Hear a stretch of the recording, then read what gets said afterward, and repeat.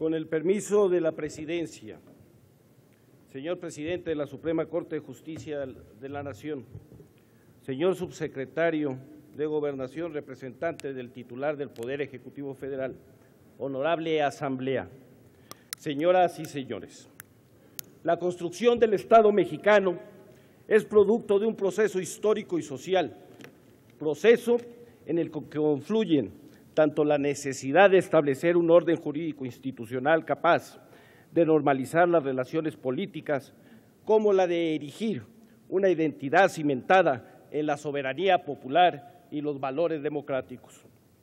Aún sin culminar la lucha por la independencia de nuestra gran nación, la génesis de lo que sería el Estado mexicano quedó marcada por los valores y principios que los independentistas plasmaron como base del pacto social de la nueva nación.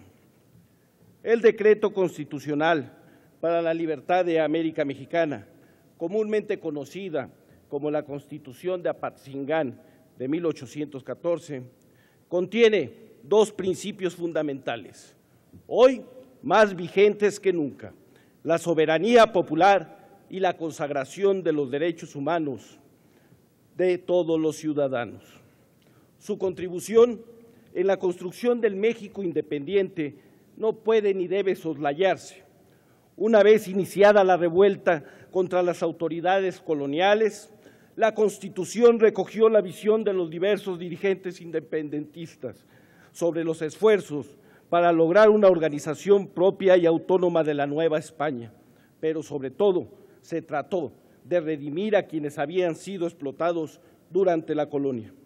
Sin duda, la mayor aportación al orden jurídico nacional de la Constitución de Apatzingán es el encumbramiento de los derechos humanos como parte de la norma fundamental del México independiente. Esa característica hace que hoy, 22 de octubre de 2014, se haga imperioso revalorar esos principios. Aún existen muchas voces que afirman que la Constitución de Apatzingán y el pensamiento liberal ahí plasmado fue solo una copia de otros cuerpos normativos de la época.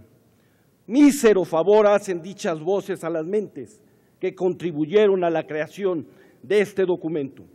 Nombres como el de José María Morelos, Andrés Quintana Roo, Ignacio López Rayón, no pueden sino ser reconocidos por la historia al contribuir al primer documento en favor de los derechos humanos en nuestro país. Ese instrumento fundacional del México independiente fue el resultado de la construcción del pensamiento liberal que recogió los postulados filosóficos que desde el derecho y la teoría política habían inspirado la Constitución norteamericana y la francesa. Fue el producto de una época en la historia de la humanidad en la que por vez primera se veía al ser humano como el centro de los derechos y no como mero agente al servicio del Estado. Los integrantes del constituyente de 1814 eran hombres de su tiempo, imbuidos del espíritu de la era de libertades del hombre que había iniciado. Ya desde la Carta de los Derechos del Parlamento inglés de 1689 y culminando con la Declaración de Independencia de los Estados Unidos de América la Declaración de los Derechos del Hombre y del Ciudadano y los ideales de la Revolución Francesa. Desde la abolición de la esclavitud en 1810, pasando por la formación de la Suprema Junta Gubernativa de América, en la cual López Rayón esbozaba los fundamentos de la estructura política de lo que sería el México independiente, hasta el texto final de la Constitución de Apatzingán, se percibe la enorme influencia de los derechos del hombre eh, como constructor del constituyente de 1814. La soberanía popular ocupa un lugar central en la Constitución de Apatzingán, concepto que a principios del siglo XIX resultaba de vanguardia, tanto como ordenamiento jurídico como concepción de poder político. Se afirmaba que la soberanía es la facultad de dictar leyes y de establecer la forma de gobierno, siempre al servicio de la sociedad y que se le consideraba imprescriptible, inalienable e indivisible.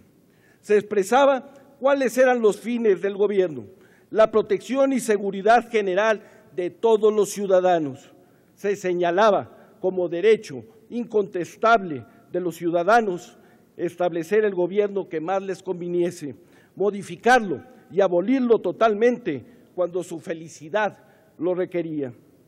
El entusiasmo de los tiempos se refleja una vez más al mencionar la felicidad del ciudadano.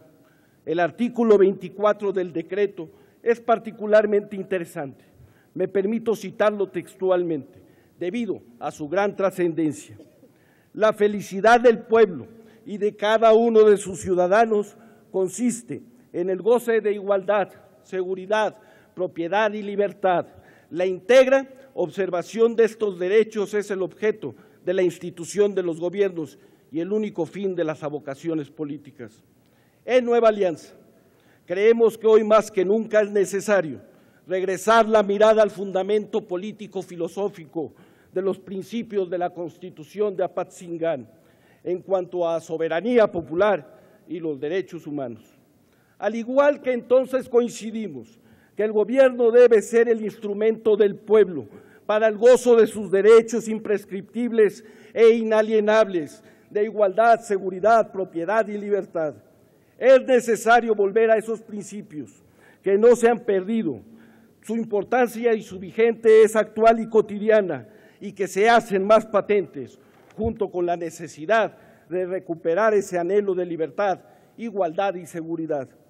La trascendencia de la Constitución de Apatzingán radica precisamente en que es el primer texto constitucional de México que incorpora una declaración de derechos humanos.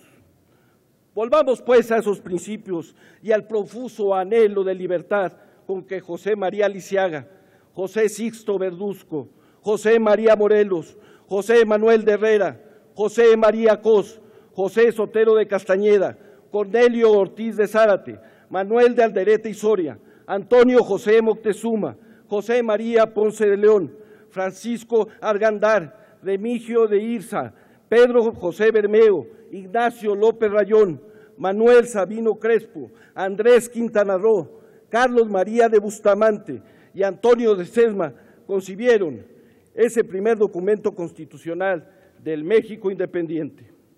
Asumamos la responsabilidad de tomar acción para que las palabras del decreto que hoy se celebra no sean objeto de conmemoraciones y actos protocolarios, sino que se conviertan en el ímpetu de nuestra labor cotidiana.